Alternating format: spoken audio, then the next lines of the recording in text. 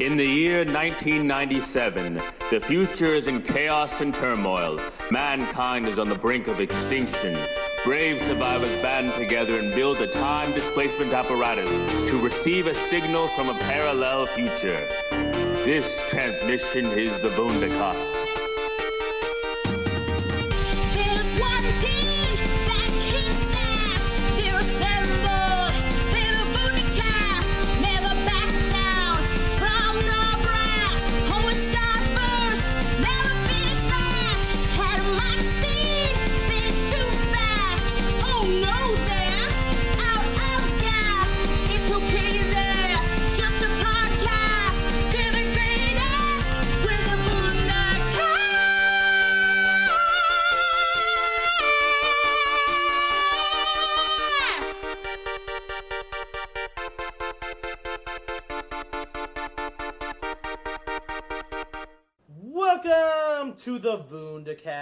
The official podcast of Vundablog.com, the home of whatever.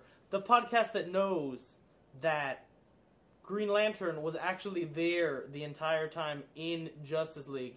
He was just just outside of Earth's atmosphere, actually fighting back Darkseid himself, all by himself, like a badass. No, he would have been fighting with the Green Lantern Corps. He's not gonna do it by himself. No, he had to do it by himself.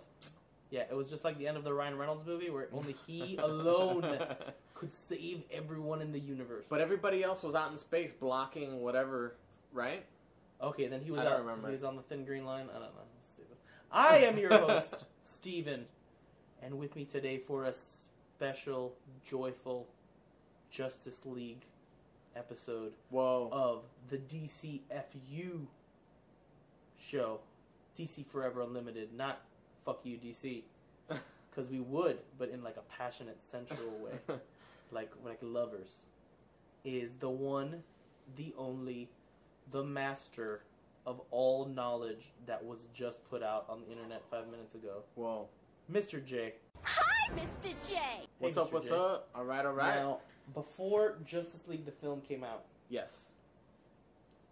I spent the first two days before it came out, that like Tuesday, Wednesday before it was released, so nervous, my stomach in knots, reading things about how supposedly garbled and like you know tonally unbalanced the movie was and how bad the CGI looked and like all this like waves of criticism had me so nervous and Mr. J was there to tell me Steve it's gonna be it's gonna be great what are you talking about it's Yeah. You can believe in it Yeah. and then upon after watching the film I was very pleased with the film, and Mr. J was the one pulling his hair out, freaking out about how things had turned out and how things are going to go for Warner Brothers down the road. We have we have switched sides in the aisle here. I enjoyed the shit out of Justice League, and as a man who grew up watching Batman the Animated Series all the way till they became the Justice League Unlimited, it wasn't the film that I always dreamed the first Justice League movie could be, but it was enough of the film it it it, it had to be. And it had some pretty awesome moments in it. it had some pretty good moments, but you know, it was just like it was like an okay movie. Um, it had some awesome stuff where I was like, "What? So oh my you god!" say it's a C plus movie? B minus? Maybe B minus. B minus. I would go B plus. Well, Cinema Score, going B minus. according to Cinema Score, the audience gave it B plus. Whoa. But- so I am the cinema score. Yes. But Down with the people. But that's not a great score Why? because I think that's the same score that Baywatch got But with audiences. with audiences. Okay. Yeah. So that's not a great score to have. Okay. So and, And Fifty Shades Darker. so you're saying that the system is rigged. So if B plus is bad, then I mean A minus. A minus. Okay? Because it's good. Yeah. It's good with a little minus. That's what I'm trying to say. Okay. What What are your initial initial reactions to the greatest Zack Snyder film Joss Whedon ever made? I'll say it was better the second time because the first time it was the CGI was really jarring.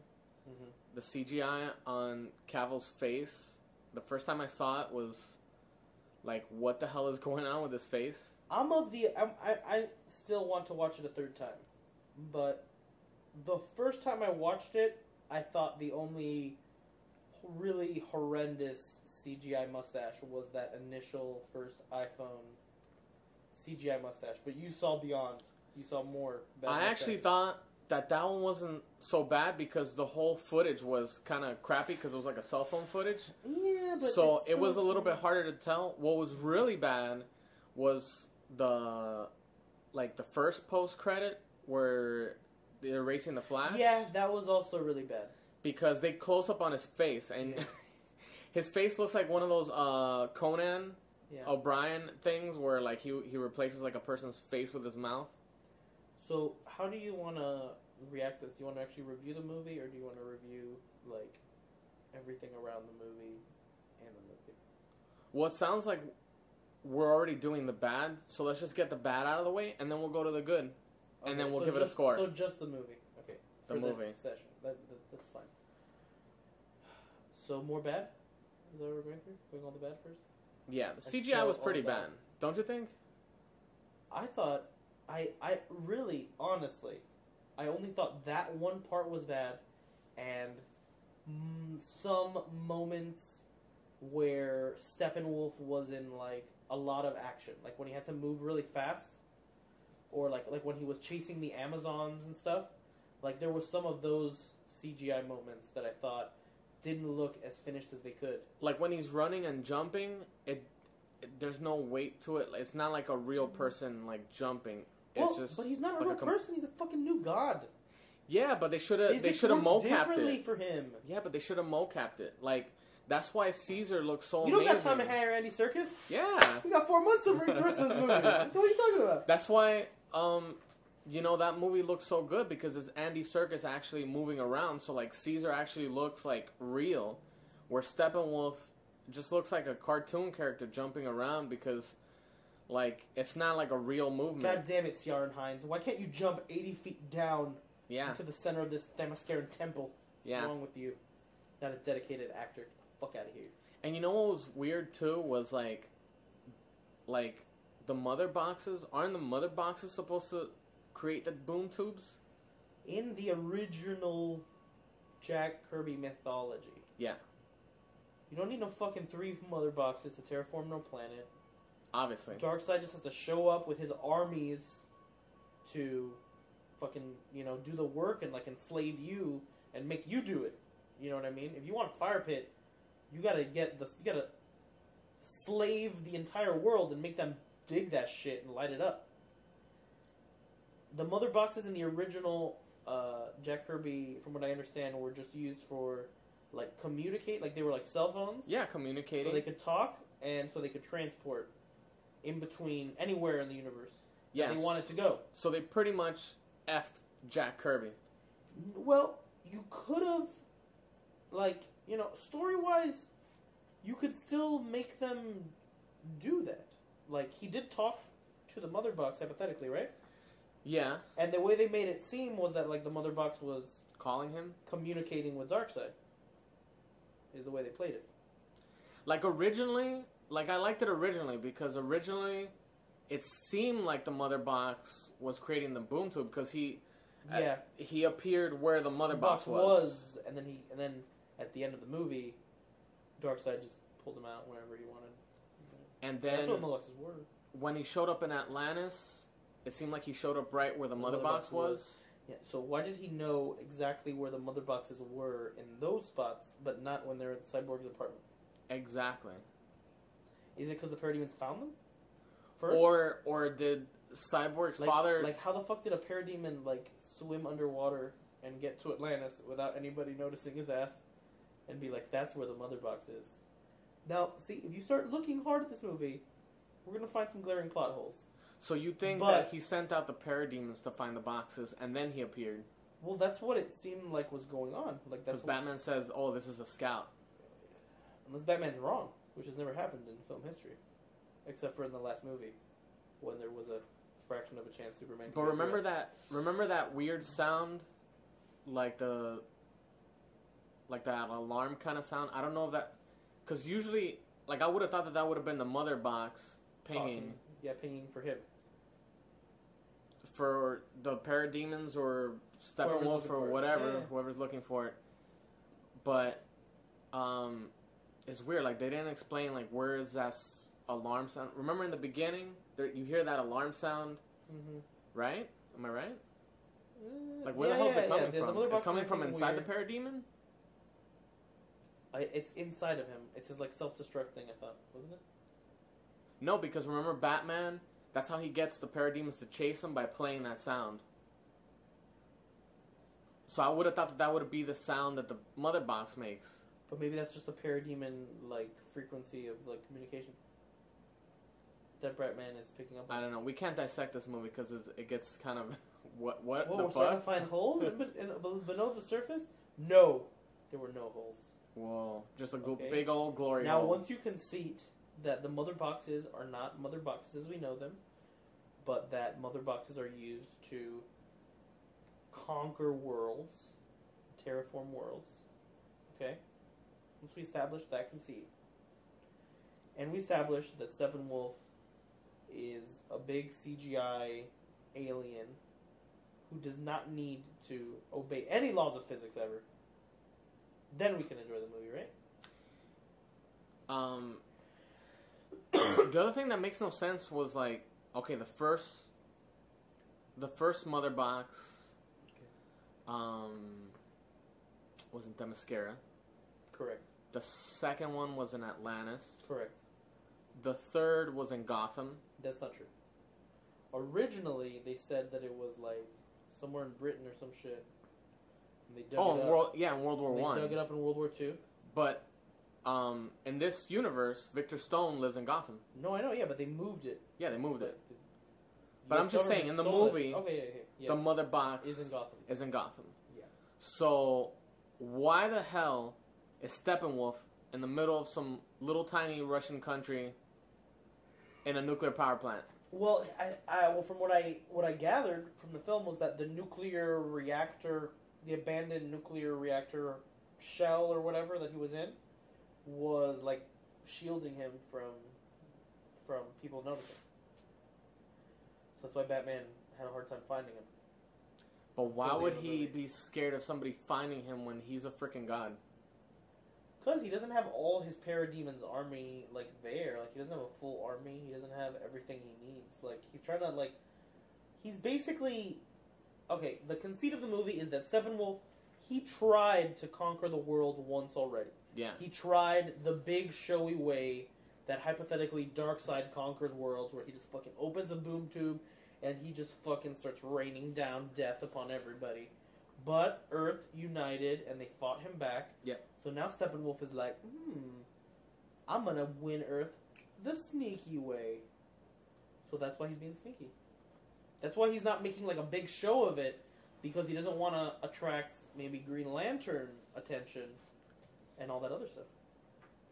So, well, that's the other thing that I don't understand because, like in the trailer, it says No um, lanterns here. no lanterns here. So where the are the lanterns? Well, maybe that's why Joss cut it out of the movie. You think maybe there was a lantern in the movie?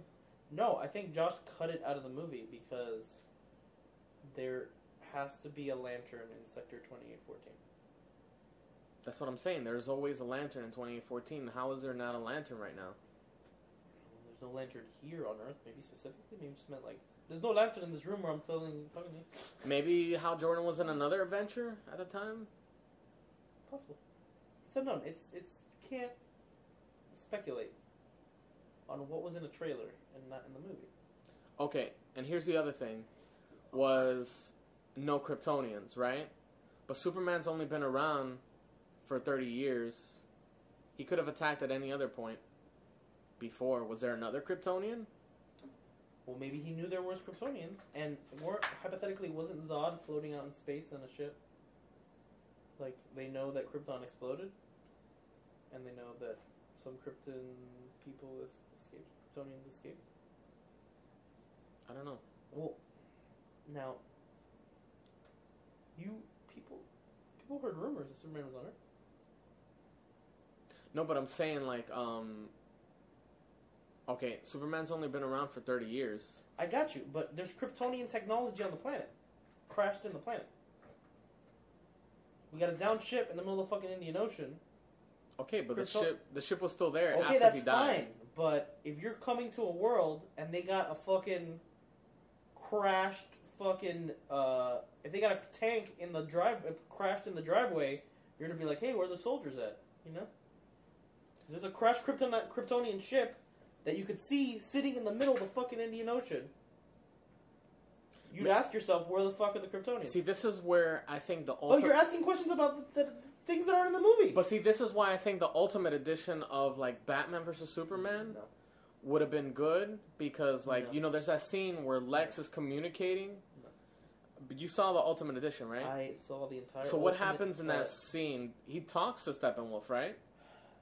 Not really. He's kind of just learning about the new. Oh, it's just a recording of He's just like learning. Yeah, he's just like learning about the new god's history. See, it would have made sense if like He's Luthor summoned him. if Luthor summoned Well- Steppenwolf and was like, "Yo, there ain't no Kryptonians Well, here." The implication Come might be that when Luthor was fucking with the ship, he might have sent out some sort of Signal. know, signal or something without noticing it or doing it on purpose.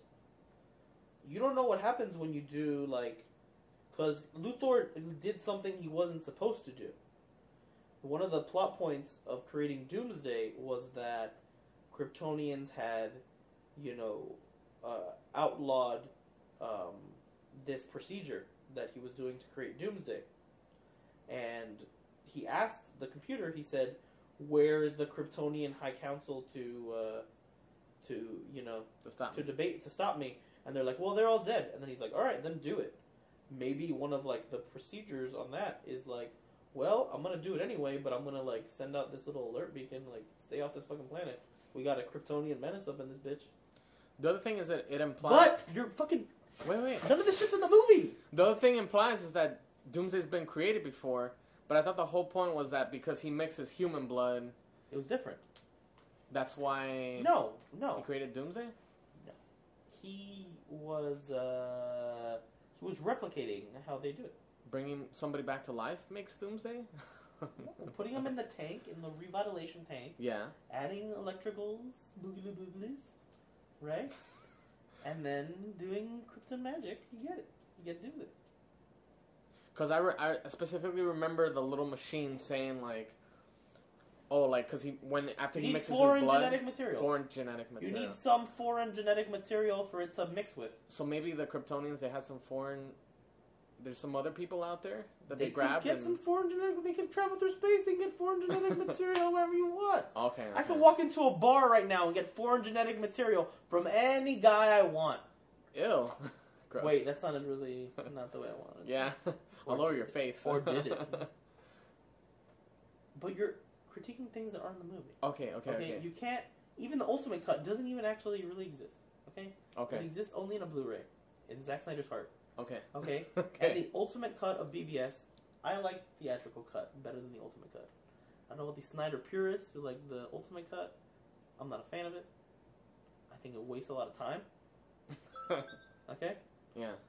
a there's like there's like a whole section in the ultimate cut where after the the capital blows up superman is depressed and he like they like show like two random indians on a mountain and the indians are like what? how the fuck did that guy get up here or whatever and it's superman who's like walking up the mountain who's like walking like by the mountain but he doesn't have any supplies with him so they're like wow that guy must be here to die that guy doesn't have any supplies that guy's dumb these Indians just like talking about how Superman's crazy. and then Superman goes around and he walks and he has a vision with his dad and his dad tells him stuff. But that was that vision part was in the yeah, it was in the movie, but in the in the ultimate cut it's like Yeah, you didn't four need or to see five the minutes. Indians. It's like six minutes in the oh, it's movie. longer. It's long as in the movie. the ultimate cut that shit's super long. And then ultimately his dad's like like Says the same shit. like bro, go save people, bro. Come on. Yeah. What the hell? Yeah. What are you doing? Like, come on. All right, all right. Let's go back to Justice. now League. Back the to Justice League. one Okay, back to Justice League. What, wait, wait, what were you gonna say? What were you gonna say? The one thing that I Ultimate Cut? read, no, No. the supposed the the material that people say was in the movie in earlier cuts that got cut out of the movie. Has been Darkseid. reported. The the stuff that's in people's non-disclosure agreements, right? Which is there's uh, stuff that hints back to Man of Steel that sets up this movie. Like for example, supposedly the reason why they're able to resurrect Superman is because they find the codex that was put in Superman's DNA at the beginning of uh, Man of Steel, which really, like they said, it was like the future of the Krypton people, but like they didn't really explain how, you know, how it is. So it kind of maybe explains what the codex is, which I guess is like a Krypton like extra life. Like, is that what it is? It's an extra life power I, up. th- I think so you can like you know come back so that the I think people was, will never die. Like, is that I what think that is? part of the movie was a little bit midi-chlorians. We just kind of forget about it. So we let it go. But see, they were going to bring it back, and they were going to make it count. They were going to bring back the codex. And then the other thing they were going to bring back that I thought was actually pretty cool was they were going to have uh, Martha come back and talk to Superman when he's all fucked up and doesn't know who he is when they resurrect Superman. Spoilers for this entire podcast. they resurrect Superman. Martha's supposed to tell him, like, uh, he's supposed to be like, oh, there's too many voices, I can't even think, blah, blah. She's supposed to give him, like, that, think of yourself as an island, and the voice is getting far away, and they're Oh. supposed to come back and do that over again. Supposed to come full I think circle. that I think that would have made more sense than just like um, Lois Lane appearing out of nowhere and calming him down. She was not appearing out of nowhere. Lois Lane was appearing, was summoned by Batman. was summoned by Batman because Batman He's got the big guns. heeded Barry Allen's advice in BVS DOJ, and he told her Lois is the key. Now, if Batman was still in a Batman v Superman mindset when he resurrected Superman and Superman wasn't nice, he might have dropped a nuke on him and killed everybody. Well, But since Flash went back in time and said Lois Lane is the key, Batman's like, shit. Like the beginning of the movie said, Superman loves vagina. I, wh- that was in the beginning of the movie. Yeah, didn't you interpret that in the beginning of the movie? What? When a little boy asked Superman, what's the best thing on earth? Ah, And Superman looks laid. Super, Super, Superman looks at him silently and smiles. Ah, He's thinking about Lois Lane, about love, about sweet mother. about banging. ladies. Ladies. Whoa. ladies. Maybe that's why Darkseid wants to come to Worlds. He's, he's lonely. See, I I could have written a better ending to this Justice League movie. Wait, other things that were weird. Okay. The the Knightcrawler scene. Um, they're trying to like crawl up the the tunnel. Okay. Um, He didn't have a sword. it stalls. He didn't have a sword. What? All he had was a Knightcrawler, so that's what he had to use. Batman. What do you mean a sword? He did. That's what he says in the movie. What? That I don't have a sword? That's what he says in the movie when he uses the Knightcrawler. He says, "I didn't bring my sword," and then he has that shit. Well, what I was saying. I'm thinking a joke, George. You just killed my comedic momentum here. Way to go. So what I was saying about the Knightcrawler scene is like, Cyborg just leaves them in the hole, and then they cut to the everybody being outside, and like, I have no idea what just happened. Well, you should have paid attention during that part of the movie. Okay, they No, fight under there. Aquaman There's a whole scene holds back there. the water. Yes, Aquaman holds back the water, they start climbing up the night. and then we'll go do stuff. Whatever. Who cares? and then Cyborg all of a sudden, Who cares?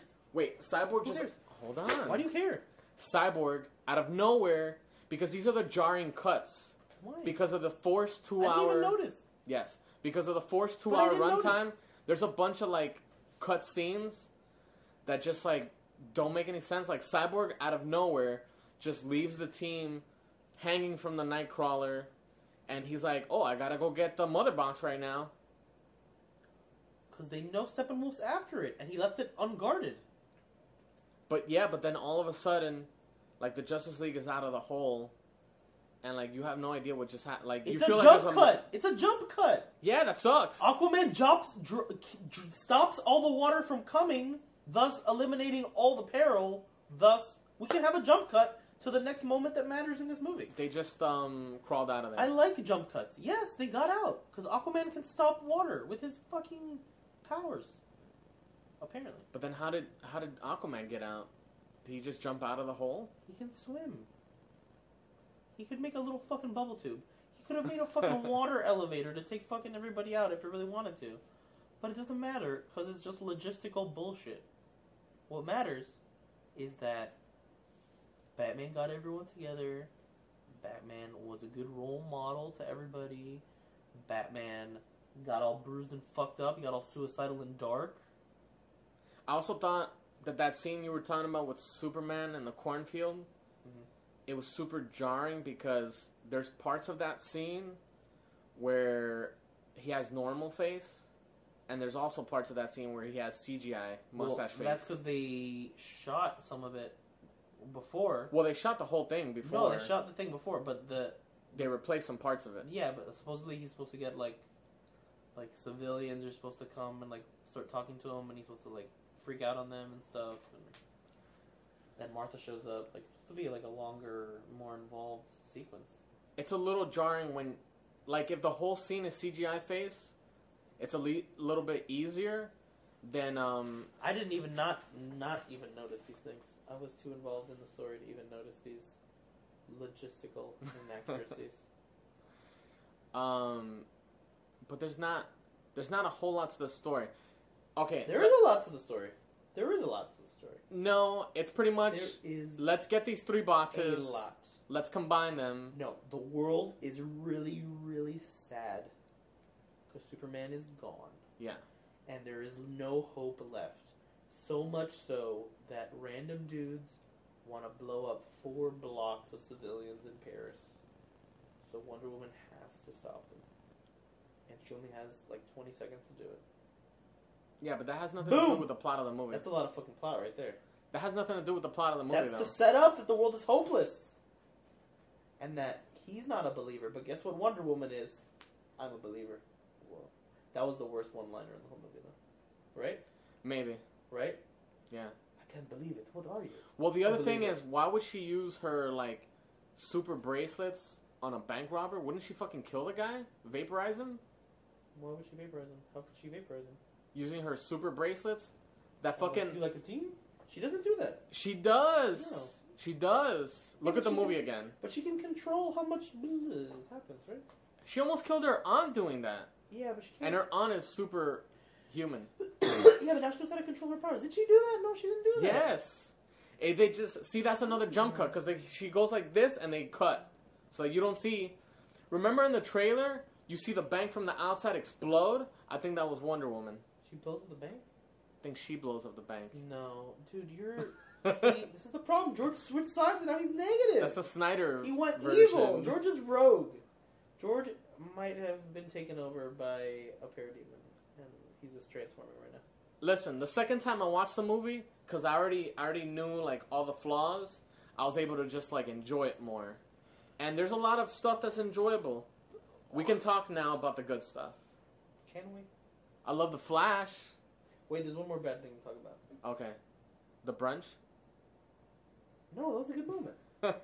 That was fun.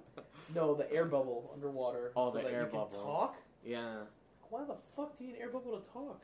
but maybe it was just for that one scene.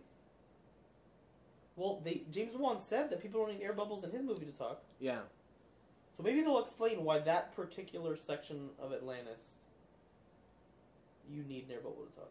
Maybe they like made it so that like the water's like regular so that like, you know, Steppenwolf would be harder for him to get it maybe? or maybe Aquaman's not used to talking Maybe. underwater. We need to fix this with retconning, guys. Stephen. Is what I'm saying. But maybe maybe it's because she knows that like Aquaman's not used to like talking underwater. Okay, I guess. Because he kind of keeps to himself, so maybe he was like, "Oh, let me make it easy for you and create an air bubble." dumb, beautiful bastard. But I thought her superpower was really cool, controlling Yeah. the water. yeah, when she started fighting with her powers, I flipped. That was like the one of the biggest like, oh my god, we're in a DC movie now. Yeah. Mera is fucking throwing around parademons. Like, what's up? Like at first, I thought she was just gonna be like some dumb cameo and say some stupid shit, but she actually got to use her powers. Awesome. It's interesting how they were gonna have so many like girlfriends in this movie, and then they like held back. Isn't that weird? No, I, you know, actually, Because after, they were gonna put Iris in the movie, but after seeing the and movie, Mera. but after seeing the movie, Yeah. I'm glad they kept Mera, and they cut Iris? Iris Yeah, 'cause she's boring. because Iris doesn't. What is she gonna contribute? She doesn't have No, powers. She just contributes that the Flash like is into chicks. Like, yeah, but then if he has a girlfriend, like it does, the movie doesn't make sense because Well, the, the whole thing is that well, he's oh, I have no friends. yeah, well, what? Well, he wasn't gonna get a girlfriend by the end of the movie. He was just gonna make a friend, I think, by the end of the movie. Mm. I liked it better that he was like solitary, and then in the Flash movie, then you can introduce Iris, and then he gets a girlfriend. Okay, now the good of this film. The good. The good. I like the Flash. You don't like the Flash? I like the Flash. I love the Flash. Thought it was really great. I love his superpowers. I love the little Flash theme that Danny Elfman does. It sounds a little bit like the CW theme, but I, I thought it was awesome. Danny Elfman's theme was really good all over. I thought it's The the Batman theme. His whole his whole Justice League, you know, team theme.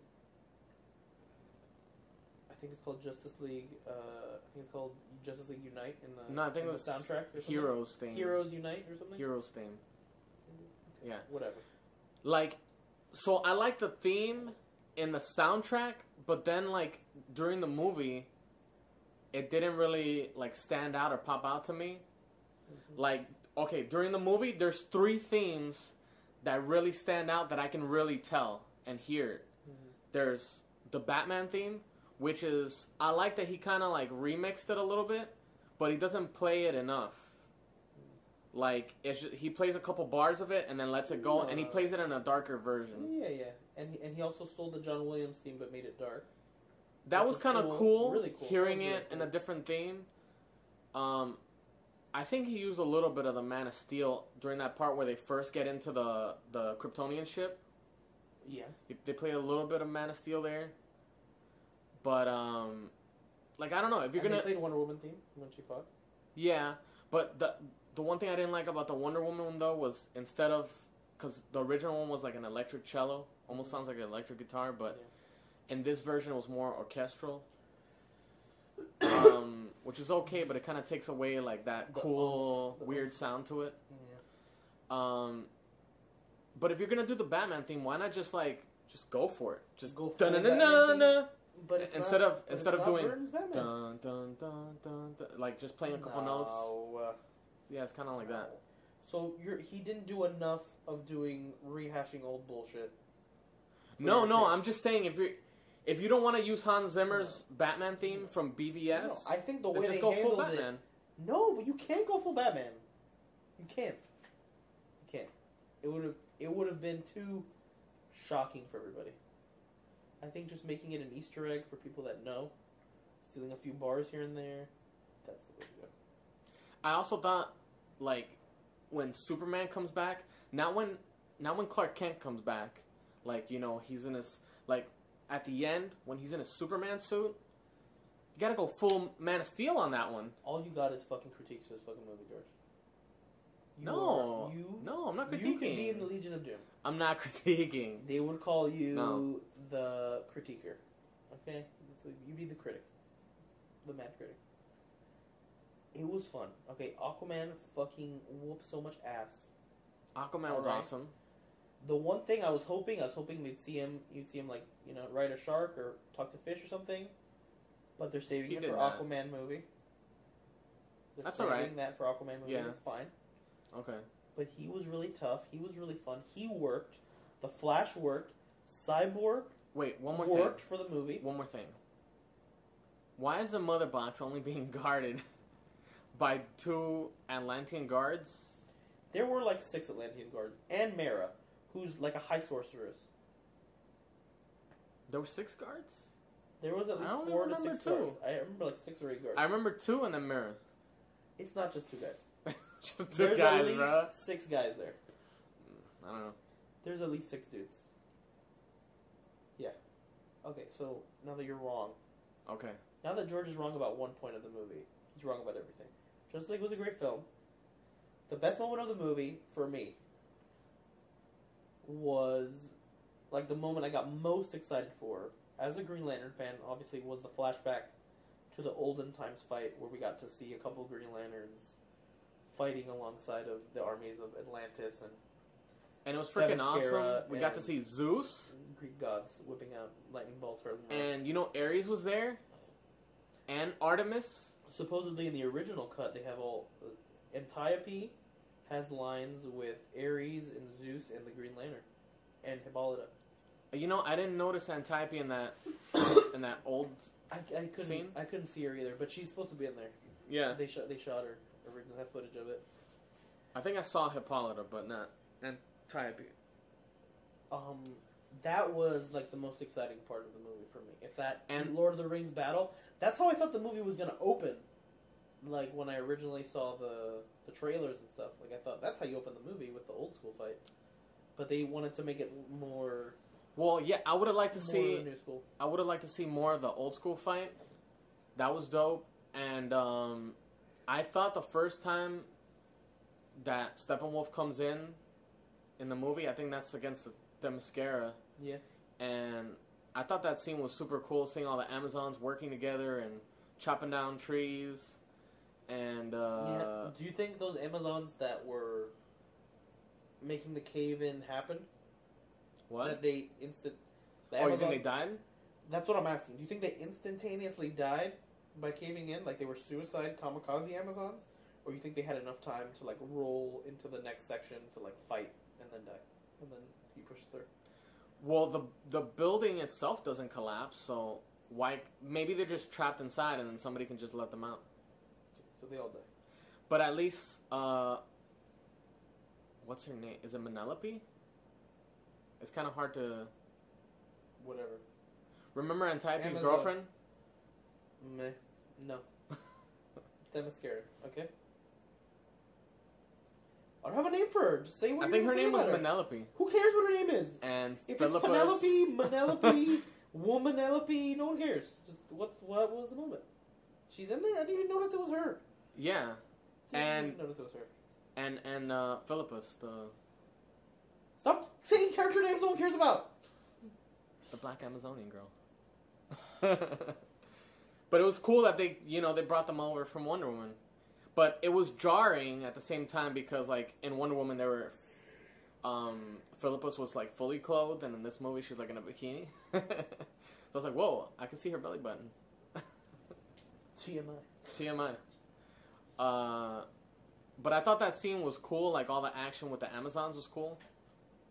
They were they were doing all these cool tricks and flipping over and grabbing the box and The last shot of the Justice League after they defeat Steppenwolf was awesome. Where they're standing on like the building, Oh. looking around and everything changing around them. That was a great shot. The uh, like basically, I thought a lot of people were ripping on the Batman jokes in the movie, and I thought all the Batman jokes worked so well. I thought they were so perfect.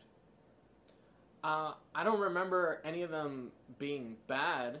Um, I yeah, I thought I'm rich. That was funny, and uh, I I don't not don't like you. Yeah, like, that's a great, I thought like that you was- know, awkward, like Yeah. you know, we're, we I could see friends. Batman saying that. I could see Batman saying that. Was it was it too Lego Batman when he said that? Is that something Lego Batman would do? Well, Lego Batman's Batman. yeah. What the fuck? Okay.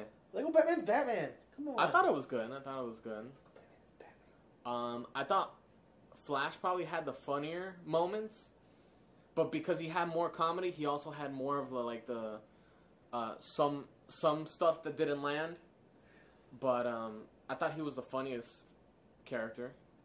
I like the thing where you know, but they gave away a lot of his best jokes in the trailer. Like when he's like, "Oh, um, I know you guys are ready for battle, but I just kind of push some people and run." That would was have been great. a good theater moment. Yeah. They had to use it to sell the movie. Saw the movie. I still think the best moment he had was the one where, you know, you see Superman saving a whole building and he's just like pushing a car. Yeah, he's new guy. pushing a car and then Like, uh, that. Superman that's a saves a whole building. And what's sad too is that like that scene I could totally tell is all all Whedon. All done after the fact. Supposedly that whole Russian family was all Whedon. Whedon adding, you know, peril to the end of the movie. And it's amazing how Joss Whedon in that one scene did more for Superman in 40 seconds to say who Superman is in 40 seconds than he is than than Zack Snyder did in the entirety of Man of Steel. See, I disagree with people because they people are always saying, "Oh, well, Superman's never shown to be heroic in those movies." He is, but it's like in a more downer way. Like when he saves the little girls from the burning building and stuff, but they play the sad music and Superman's kind of like sad and everybody looks sad in their face. So people don't remember it as a heroic moment, but he does heroic shit in the Snyder No, stuff. Yeah, yeah, he does. And then when he saves the people, He does, but I'm saying, from the flood, but that's that's like that image of Superman carrying an entire building and being happy and stuff. full of people away to safety, and somebody looking at that and smiling. yeah. That says more about Superman than Superman fucking looking at the sky really hard and then like flying through the like that says more about Superman. That tells more of a story about who Superman is and what he thinks than But the only difference, than, than, than him freaking out on an oil rig and like saving a bunch of people and then like passing out like that that was so Superman. you just want to see him save people while smiling and cracking jokes. No, no. I just want to see him Saving people is a serious job. I'm just down for him For the Snyderverse. that he's into truth and some justice. That's some and some happiness. some justice. Yeah, but he's. I'm just saying he saves people in the Snyder movies, but it's just not with him I'm smiling not and saying cracking he jokes. doesn't. I'm not saying he doesn't. I'm just saying that Joss Whedon did more in 40 seconds than Zack Snyder could do in two and a half hours. But why? Because he's smiling and cracking jokes. No, because of how you're visually telling the story. It's because of how you're visually building the story. It's just about seeing Superman in the distance. It's not even a close up of Superman carrying a building. It's Superman from Flash's perspective carrying the building. He's a little CGI dot carrying Yeah. a building. And that says more about Superman.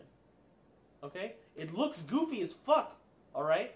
But if in BVS they had footage on the news of Superman carrying buildings full of people away from danger, that would have told a hell of a fucking But he story went into a- why Superman's cool. But he went into a burning building and saved a little girl, That's great. You and did he that. saved people from a flood, That's great that you did that, and Superman. he saved the rocket. That's great that you did that, Superman. But the way Joss, but the way Zack Snyder shot that shit, like you said, made it look really depressing, and like he didn't want to do it. because And the way Joss Whedon did it, made it look made it like fun. Superman does this shit all the time. He doesn't give a fuck. He's just doing his job.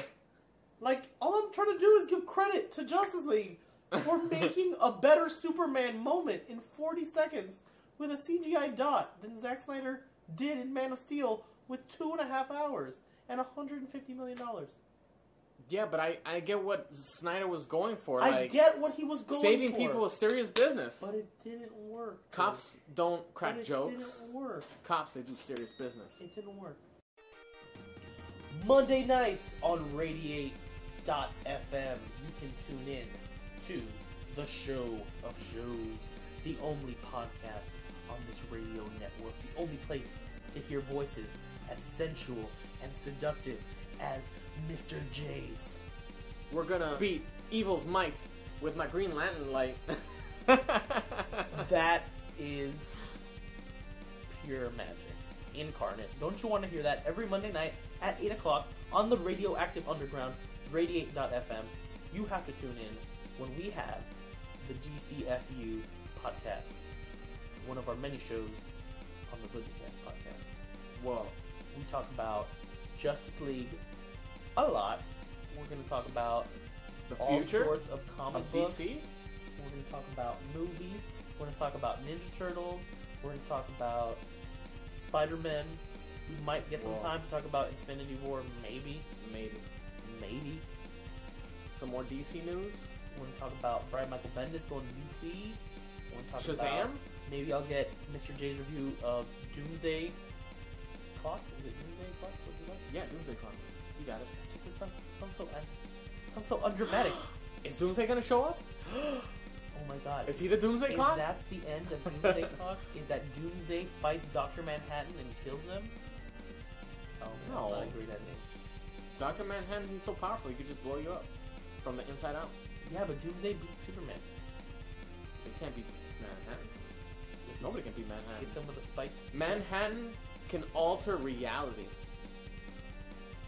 Yeah, but Doomsday can alter Your face. comic book sales. no, he can alter comic book sales.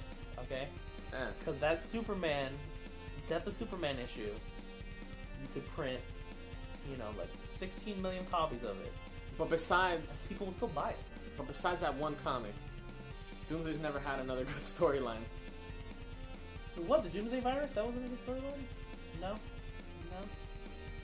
because pretty much in that in that one, um, Superman pretty much rips Doomsday in half. Like they fight for like one page, That's exactly what I'm going to do. and Superman rips when him you in half. tune into the Vundacast on Monday nights at 8 o'clock, you're going to hear me and Mr. J talking, and we are going to rip you in half with our words through the internet, on the radio, Vundablog.com. Download our podcast on iTunes if you want to hear it straight in your ears. Vundacast. Tune in or. Die. And we're back! now, some final thoughts on Justice League. It was a good movie, George. Stop saying it wasn't a good. I didn't say it wasn't it good. wasn't Yes, you did. Let me say some positive things. because the fact, Don't just end it. Let me say some positive. Things. But the things. fact that you put eighty problems with it means that it's not that good. No, I still like it. It's just, it's a good movie. So what did you like? It's not a great movie. So what did good you movie. like? Okay, The Flash was awesome. He had some funny jokes. You liked all that. the Flash components. Got that. Um, Every Flash thing. I can't, I can't remember anything bad about the Flash, and I like the way they did the. time with Gordon. I like the way like, he did the running Yeah, thing a with trail. the with the um with the lightning or whatever. shooting lightning. The the speed for I like the speed force. Um, it was awesome that that scene with Superman where he's got all the Justice League, and then he you see the little eye move, and he follows Flash. Yeah, and then he great. trips up the Flash. Mhm. That was awesome. Um, Aquaman stuff. Aquaman being Aquaman. He could fly underwater. What? Crazy. Fly real good underwater. Um, Mera was awesome. the team coming together was awesome. Batman telling Wonder Woman to lead the team was awesome. Alfred, Alfred was alright. all right. uh, Cy- Cyborg, Cyborg was pretty good, but um, I felt like he wasn't. fun he could have he could have done more for like his personality. I thought he had enough. I thought he actually had like one of the biggest arcs in the movie, probably because like in the beginning he's just kind of like, down and depressed, and then he's yeah, don't look at me and don't talk to me, end. and he's like, booyah. That was the best part. He said, booyah, and he fist he fisted, fisted bumped the Flash. Um, the, the Wonder Woman saving the bank was cool. Uh, Sounds like you liked every part of this movie where there wasn't Steppenwolf. Steppenwolf or parademons, basically, is what you're telling me. Actually, you know, I actually thought. So like this movie's weird because like the stuff that they took time on with the C, like you can tell the parts that were rushed because there was some great CGI. Like the Speed Force was amazing. Cyborg, I was scared that he was gonna look stupid, but Cyborg body looked amazing. Mhm. Like he looked like real Hey, weight cool, to yeah, it. Um, like the I thought the Parademons looked awesome, Mhm. way better than um, Steppenwolf. Um, and even Steppenwolf looked pretty good, like from the back. But like when you see the close up of his face, like they didn't animate his face enough. um, I love that they basically like ripped off Justice League War for the Batman intro of this movie. You know, with I- Batman, you know, hanging off a parademon's back, flying through Gotham City. Like that moment, like immediately reminded me of Batman and Robin, and when he's like surfing off of a no, surf no, skydiving no, because that was down terrible, Stephen. out of a plane and stuff. No, but I was thinking of like, wow, how far we've come in you know twenty years. All right, because that movie came out in like what ninety eight, right? Ninety-seven. 97? Oh, 97? 2017? It is exactly 20 years. Oh my god. so, from 20 years ago, I saw Batman, George Clooney, ski surfing through the air, and now I'm seeing Batman, Ben Affleck, fucking riding a parademon through the Gotham skyline. Like that shit looked amazing. Flash was really great, and it's really a high bar to live up to to be as good as the Grant TV Gustin. show Flash and Grant Gustin. And he was good, and I think it was a wise move for them to kind of like weaken him down and like really have him be like you know the most like like a like a Newbie. yeah noob version of the Flash possible. Like I thought that was the most I mean, we saw that on the TV show too. Like when no, but I, I think I think that was useful for the story, and I think it was also useful for just like kind of setting him apart from Grant Gustin's Flash, because he's so deep in like being the Flash now after four seasons that like you know you expect him to throw like these like lightning punches and yeah, stuff. yeah. Like you expect all these different, you know, tricks that he knows how to do. Like the Flash didn't once in this movie like create a whirlwind with his hand and hold someone up or anything like that. Like there's a lot more Flash tricks he's got to learn that we get to, we're gonna get to enjoy. Wonder Woman, I enjoyed her stuff, but I think that she was a little underserved in the movie, especially when she was like coming off of such a big win with her own movie. I wanted her to like cuz cuz when Batman puts her on the mission of like you got to get Cyborg, like it doesn't really seem like she tries very hard. Like she like sends him a couple like IMs and stuff and then like, you know, Well, but shit works out. You know what I mean? Yeah, but uh, like they explain it halfway through the movie when they're in the like the lake scene, and like, oh, we're asking people, you know, that we Yeah, to don't die. know to die. Yeah, yeah, I, I know. So I, she was kind of reluctant to it. well, it's cuz she's and by the end of the film, see, that's what I liked about this movie. That's the best part of this movie is the characters. I felt like every character had an arc. So was Wonder Woman's arc. You know, She was Wonder Woman's arc, where she's team. ready to be a leader and ready to like embrace the public and be like inspire the public. Because like in the beginning, she just kind of shows up, does her thing, and then leaves, That's not and like nobody really knows who Wonder Woman is. That's not true. At the end, That's not true. she's like talking to reporters and the little kids and stuff, signing autographs. Yo, I'm Wonder Woman. I'm here Didn't to stay. that in the beginning? No, also it's, at the end that she has the guy tied up with the with At the, the end, Okay, I thought that was yes. at the beginning. No, reason. Okay, yeah, because yeah, okay. both scenes look similar. yeah, they do look because they look have the exact same lighting, Because the scene at the end Yeah, takes yeah, yeah. place like at a museum, in the same area. and the first one was at a bank, but they Okay. both look the same. Okay. So she has a character arc. You know, Batman has a character arc. He's Lois wi- Lane, Martha has an arc. Martha. Yeah, she's like so depressed, and she's happy. Her son's back. Boom, full arc. No son to son, some son. Um, Aquaman has an arc.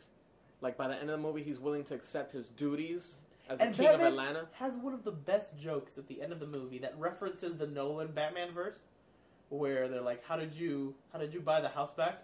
And he's like, "Well, I bought the bank." And then he's like, "Yeah, it's kind of a reflex thing I do." That happened in the Nolan. huh?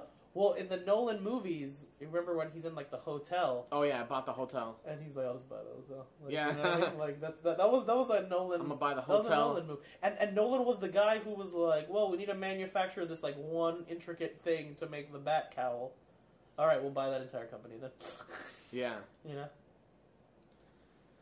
Um, I- Cyborg I- had an arc. I was hoping for because Alfred was so good at the comedy in BVS DOJ. Yeah. I was hoping that Alfred would have more to do on the team and would get more comedic moments and sort of get to be like a father figure for the team or something like that, or you know what I mean? Well, they Which seem to I- cut out like a lot of stuff, some stuff. they cut out him interacting with the team more because in the trailers you can see like he's either talking to Superman or something, and Mhm. and I'm sure he's talked to Wonder Woman, but like I don't know. In the movie, they seem to cut out a lot of his scenes. And the one, I like that at the end of the movie they're gonna, you know, put a table, you know, and sort of have a hall Oh, of six justice chairs and stuff. and room for more. know. But why would you build your hall of justice in Wayne Manor, in abandoned Wayne Manor? Right, right, right. I guess. Because what I thought was cool about Justice League was that they figured out, like, well, Justice League having a Hall of Justice like Super Friends is kind of lame. So we'll just do like you know the Watchtower, the space station in the sky. That's cool. And then after three seasons, they figured out people you know miss the Hall of Justice. If we have a Hall of Justice on Earth as like an embassy, so that people don't aren't so scared of the Justice League, that's a good idea. So thus, it makes sense to exist in the universe. I thought they should end with like Batman being like, "This will be the site of the Hall of Justice," and it's in the middle of Nowhere. Metropolis or whatever the fuck. You know what I mean? Mm. Like to put it in the middle of nowhere. All that's gonna happen is Legion, Legion of Doom is gonna show up there and blow that damn building up again. I, I didn't mind them doing the Hall of Justice at the at the Wayne Manor. Let's talk about that post credit scene, boy. Post credit scene. So you claim that there was post credit scenes on previous films, previous DC films. Well, just like Suicide Squad had that little bit with Batman Oh, with Batman meaning Waller, meeting Waller and saying "shut it down," which which never could set up it could set up Suicide Squad versus Justice League. They did it in the comics. Okay, so that was the first post credit scene, Yeah, which was meh. It was good. It was Yeah, good. it was alright. But it wasn't like yeah, you know like what we got in this movie. yeah. We Like, got this is Deathstroke way- on a boat, A better ending. and we got Lex Luthor Looking like he's supposed to look, looking like he's supposed to look. like some Gene Hackman. and I thought he acted like um, he acted more. His acting was a little bit more subdued. It wasn't so manic and crazy Well- like BVS. He had a lot of craziness and ticks, and he finally, you know, went to a mental institution and got some help. Yeah, So he worked through those problems. all of those father issues, yeah, and now he's ready to be a productive member of society yeah, by taking out the Justice League. yeah. Yeah. I'm excited. What? And the rumors are that fr- from now on they're gonna start putting more of these end credits, building up the Legion of Doom. I I like that, but I don't want the end credits to be the only place they build. Like you should be building the Legion of Doom in the entire movie as well. No. Yeah. No. Let me tell you why. No, you, let no. me tell you why you don't do that. Because, let's say, okay. First of all, let me start off by saying, James Wan is awesome, and Aquaman is gonna be the best comic book movie of 2018. Mother effers. Okay. Let me start off by saying that. But this is why you don't do it because, let's say Flashpoint sucks, and that movie you spend the whole movie building up the Legion of Doom, then like when that movie doesn't work, it's gonna hurt other movies. So what you do is you just put a little thing at the end where like at the end of the movie, Reverse Flash joins the Legion of Doom, and then in Aquaman, Black Manta But joins the Legion of Doom. But that's not gonna make sense Why not? if you don't introduce Reverse Flash in the movie. No, yeah, you introduce him in the movie, Okay, but that and doesn't then he make gets sense. his he gets his ass okay, kicked. that makes sense. but let me explain. But the way you were saying it, but the way you were making it seem is it it was gonna be like this movie, where we're not gonna know anything about Deathstroke or see Deathstroke, and then he's just gonna show up at the end and join the Legion of Doom. Like the way you were presenting it was that I'm gonna watch an entire Aquaman movie. No, no, no. Black Manta's gonna be in the entire movie. or he's gonna get in a piece of the movie. But let me let me just say what I want to say. Black Manta's gonna be in the entire movie, but he's gonna get his ass kicked so bad by Aquaman that at the end of the movie, Lex Luthor, Deathstroke shows up, That's good. and like, hey, come join our club. We're gonna be stronger, and we're gonna kick all their asses. That's good. And Reverse Flash, he's gonna be the bad guy in the entire Flashpoint movie, and then uh, he gets his ass kicked, and then at the end, right, it's gonna be like, yo, let's join up together. Kick their ass. And then and then once you get a string of good movies going and more people more invested in the DCEU, then later on down the road, then you can do Justice League 2 versus Legion of Doom. Lex Luthor, green power suit, armored robot. Whoa, that'd be crazy. Lex Luthor in a robot outfit, destroying the world. His is it Krypton powered? Could be. Kryptonite? Could be. That way he could fight Superman. Could be. Otherwise Superman just rip him apart. Maybe. Do we uh do we mention any of the news that happened this week? No, this is already gone. This is Too an- far? This is an hour already, George. This is an hour? No, but that, that this other stuff doesn't count. That that was cut out. That was four minutes. No, that was a long time. That was e- That's that, a long time. That's stretching it too. That it was four minutes. but it was like around four minutes. Okay. We'll get to that. We'll get to the behind the scenes of And the future of the DCEU. who on the betrayed the league. Who betrayed the Justice League? Who was the real Villain. fucking Villain. master of apocalypse in this bitch? I have been. I. Wait. I. What? We didn't even do like, uh, give it a score. No. A score? Yeah. Well, I guess we did. You gave it a An A A minus. Okay. I gave it a B I gave it a grade. B minus. If you want me to give it a score, I'll give it a 8.5 out of 10, I guess. Eight point five. I would say seven seven point five out of ten. Still, that's a good score. Okay. That's like a C. Okay, so okay, wait. In the film, C plus. in the film hierarchy, all right, Yeah. you have to rate Oh, we're gonna rank the films. Let's do it. Man of Steel, Yes. BVS, Yes. Suicide, Yes. Wonder Woman, Yes. Justice League. Yes. The best one is Wonder Woman. Well, we can agree on that, F yes. right? Man of Steel is number two. You're crazy. You're crazy. Justice League number two. You're crazy. Chink. Crazy. Justice League number two. Justice League three. You're going Man of Steel two. Easily. Justice Two. League three. I go BVS three. You're putting Man of Steel lower? Yeah, than BVS. I think it goes. I like BVS. I think it goes by tomato meter. I like some BVS. I think it goes by tomato meter. No. It goes Wonder Woman, Man of Steel, No. Justice League, BVS, Suicide Squad. That's how it goes. So you're saying you agree with Rotten Tomatoes in all things forever now? You're. I don't know- I don't Yeah. agree. No, no, you betrayed. No, no, no. You're- yeah, yeah, yeah. you're- I don't you're agree. in the Rotten Tomatoes wait, league now. wait, no, no. Yeah. I don't agree with the score, but I agree with the ranking. Put the ranking. I would put BVS at the third spot. Man of Steel in the fourth spot. You're crazy. Suicide Squad in that fifth spot. You're crazy. This is why Man of Steel goes number two. Out of all those movies, not Wonder, excluding Wonder Woman, you got Justice League, BVS, Suicide Squad. Like Man of Steel had the most like focused storyline, Story. complete story, and the best villain Okay. of the DCEU. Okay, that though that may be true. That may be true.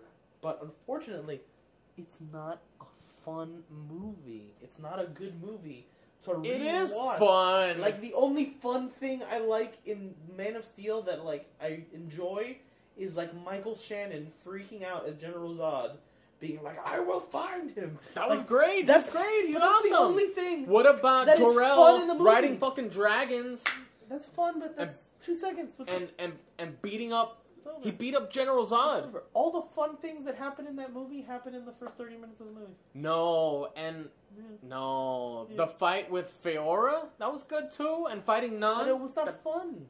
it was fun. No, You're you- crazy. No, because I'm worried about. When's the Sears. last time you watched I'm Man worried of about Steel? Sears and IHOP. Poor IHOP. Why did IHOP gotta take it so hard? When's the last time you watched Man of Steel?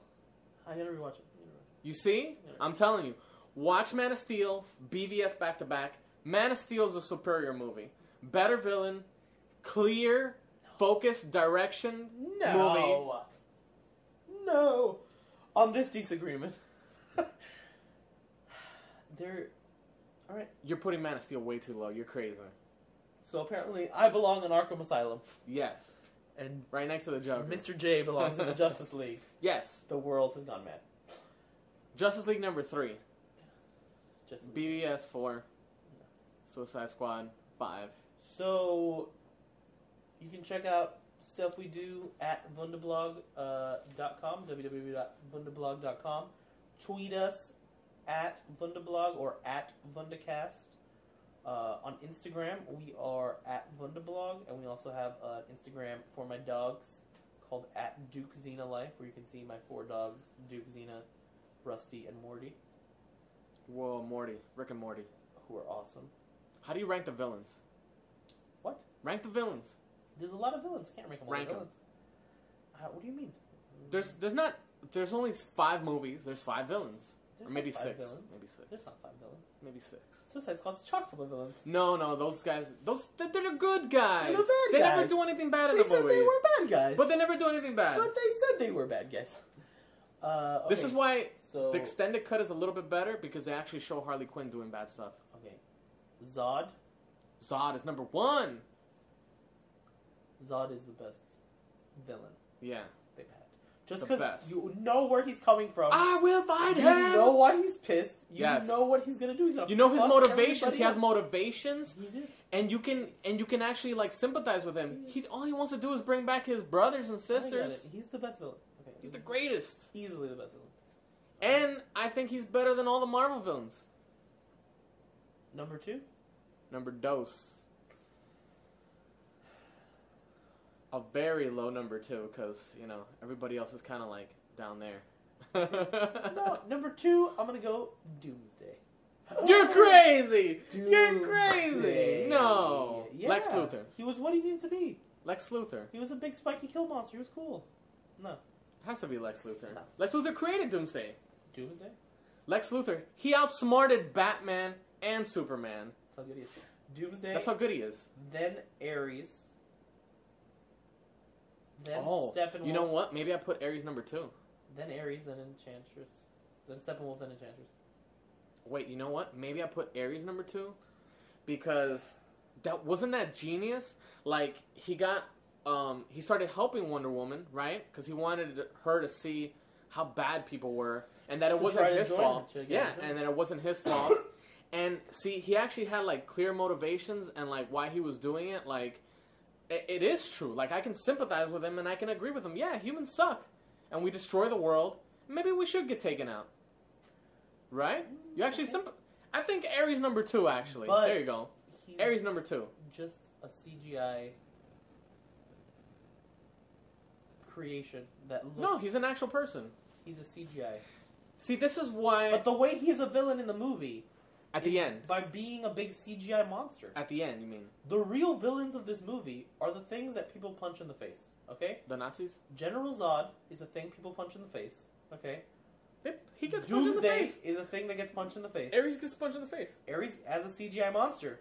So that CGI monster Ares. No, you but you see his face underneath the mask. Yeah, but he just has two horns coming out of his head, and frankly, his design looked a little similar to Steppenwolf because of the horns and the CGI.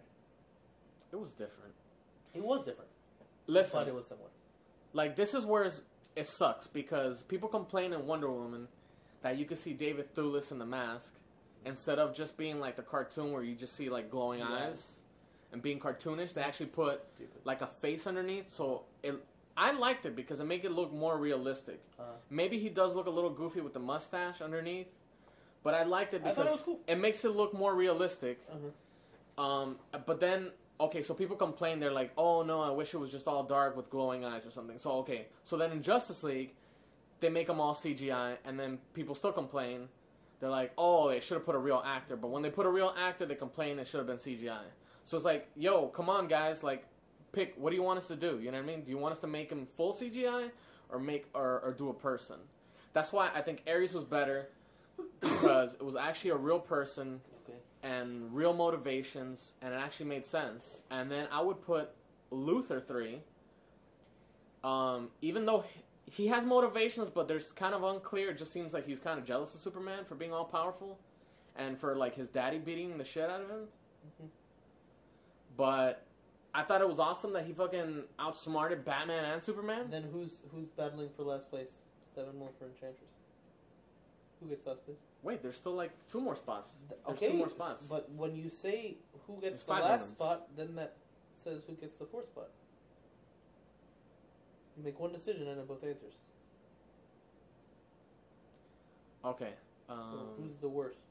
Worst, worst. the worst Enchantress. And I liked her in the movie um, when she's like that dark golem type of creature. I love that Zod, part. Ares, Lex Luthor. Lex Luthor. Yeah.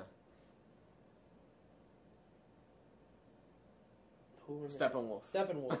See? He's so bad you don't even remember no, him. but I'm just like, you're putting Steppenwolf at four? Yes. And Enchantress at five. Why put Stephen? You couldn't even remember the guy's name. He's forgettable. He's so forgettable. He's so vanilla and bland. His face looks like vanilla, like vanilla pudding. but Enchantress was worse because, okay, and she was super cool when they first introduced her with that hand changing thing, and she's super dark and all weird and creepy. But then halfway through the movie, like she's all clean and she becomes this goddess and she becomes this belly dancing hippie. Yeah, And get that's that's I'm not- where I'm not saying she don't suck. that's where she sucked.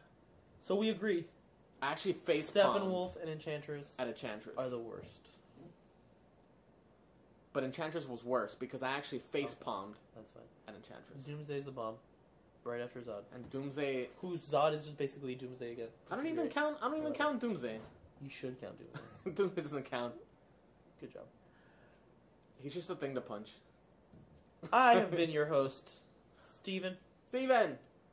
and with me as ever, a ma- great many thanks to your king of DCFU, the one and only Mr. J.